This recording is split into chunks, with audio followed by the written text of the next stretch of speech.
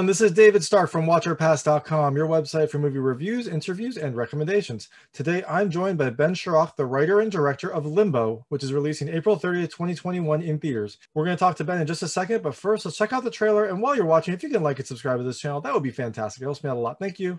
I want to introduce our new flatmate.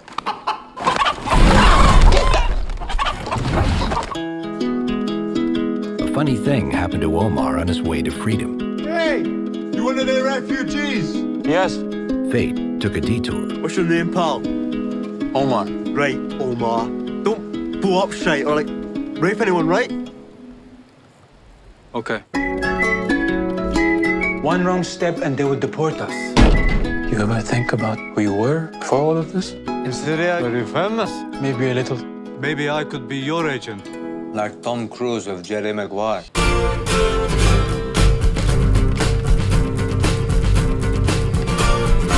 You can be whatever you want as long as you work hard enough.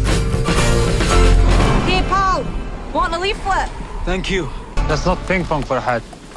Yes? Ping pong, ping pong.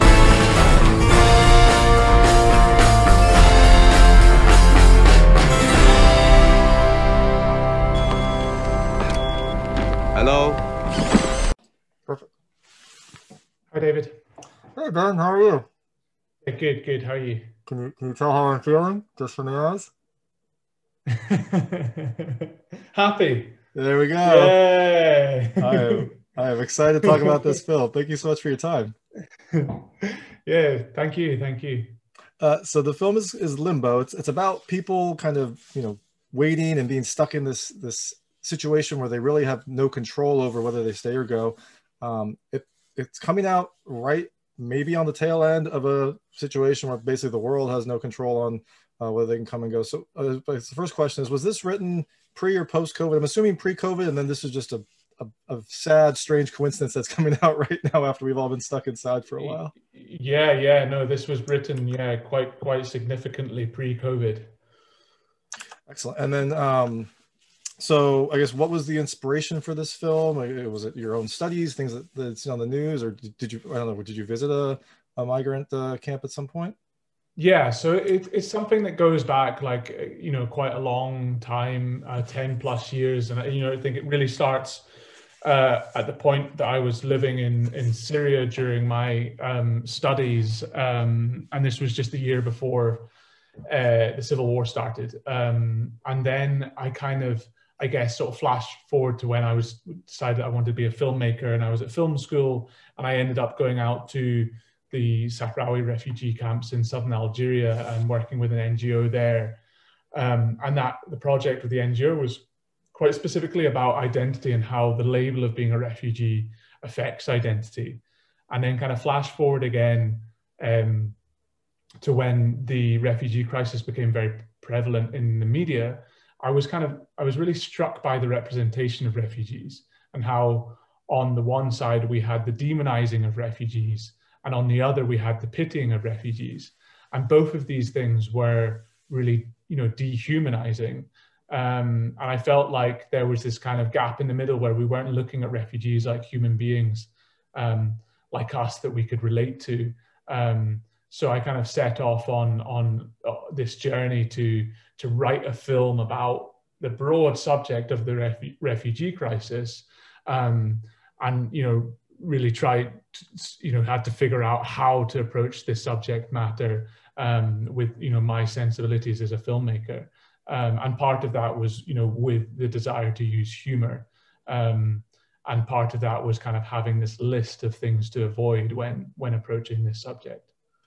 That's a really interesting point because I, I actually hadn't thought about that. You know, you, you're right though. You kind of you know demonize refugees for you know taking over the country whatever you want to you know whatever that view is. And then you also pity them when you see these terrible stories come out. But you don't really get much of a sense of you know them as people as, as just kind of you know, your neighbors your you know potential future coworkers and bosses. And, and this is that's a very interesting angle to take this. And i'm, I'm glad you did because this film i think accomplishes that greatly.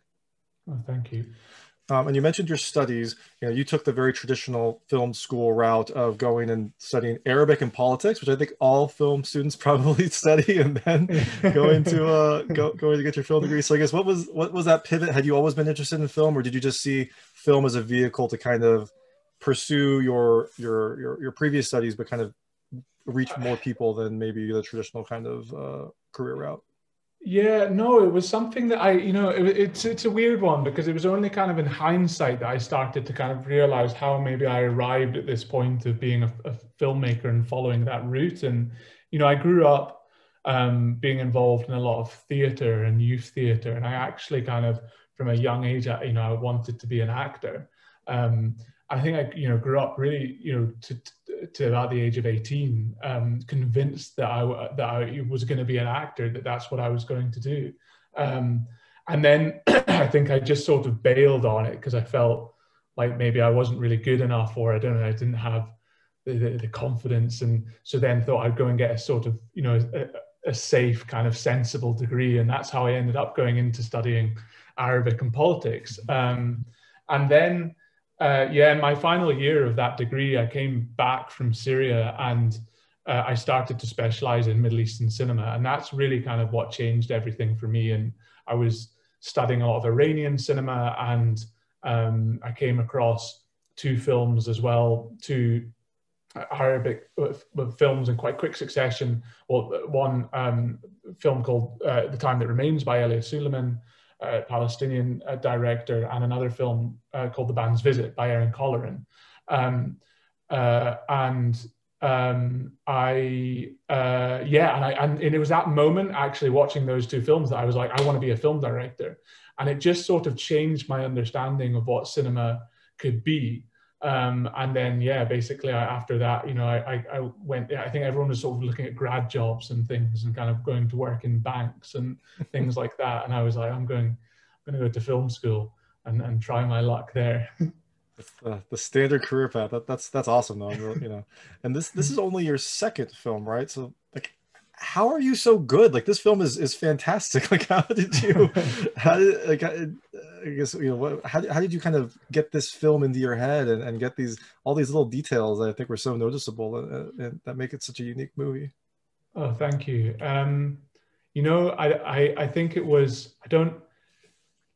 I was very, I, in a way, I'm kind of very fortunate because you know this is my first funded feature film. And it's my first kind of industry feature film, and you know before this, I you know I made you know a, a really low budget um, self-funded feature outside of the industry. And i think that that having the kind of opportunity to do that was just such a uh, it, it, was just so incredible because i could really kind of um, try and establish my vision and my voice as a director in a in, in exactly the way that I wanted to without kind of any pressure of the industry or pressure of the, the sort of financial side of things or um, and it was a very kind of pure creative energy that um, a group of you know group of people put into to, to making that that first feature.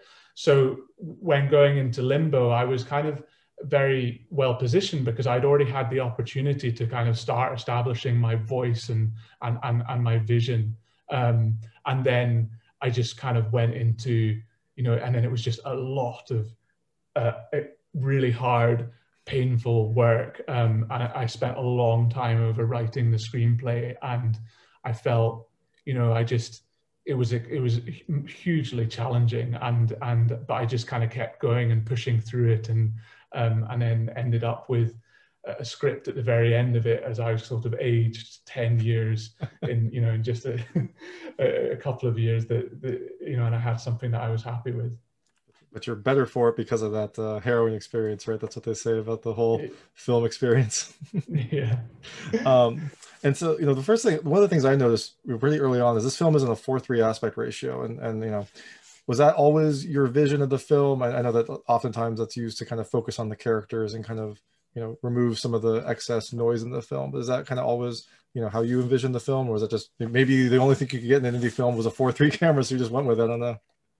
Yeah, no, it was something that was kind of built into to the vision quite early on. I mean, it was, and it was really for two two reasons, which is a lot of kind of the approach to the language of the film, um, which is really about on on on one side it's about Omar and about what he's feeling and what you know, and at times what the other characters are are going through. So having that um, academy aspect ratio is about kind of making them feeling feel trapped and claustrophobic um, on the island, on this kind of purgatorial island.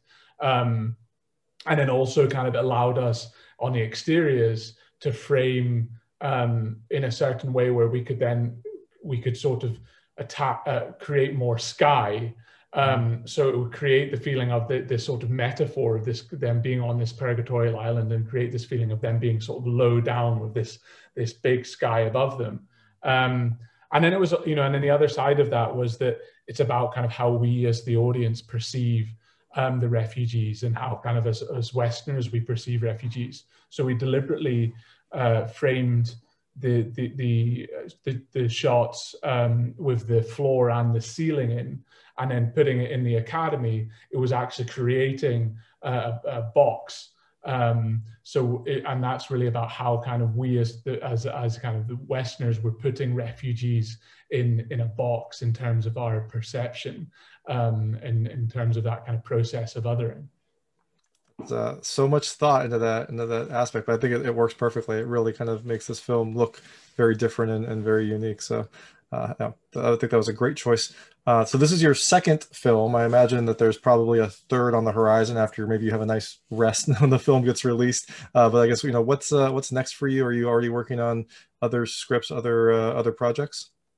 I am, yeah. I'm working away. Um, I'm I'm I'm working on a on a on a couple of things, um, uh, which I won't say too much about, but but they're sort of it's still met very much with you know what I'm really interested in is kind of what's going on in the world right now and kind of looking at these kind of big global issues and trying to kind of approach those big topics um, by distilling them down into the human context mm-hmm. and approaching them from an oblique angle with a sort of you know touch of humor and sort of offbeat um, uh, style of, of, of filmmaking.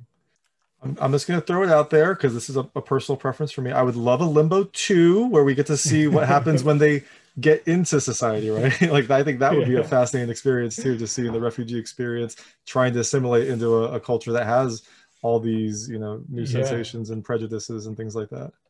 Yeah, yeah. So I'll, I'll, take the first pen. I'll take the first stab at writing. It. I'll send you the script, and then you know we, we can collaborate. It'll be okay. Yeah, sounds good. sounds good.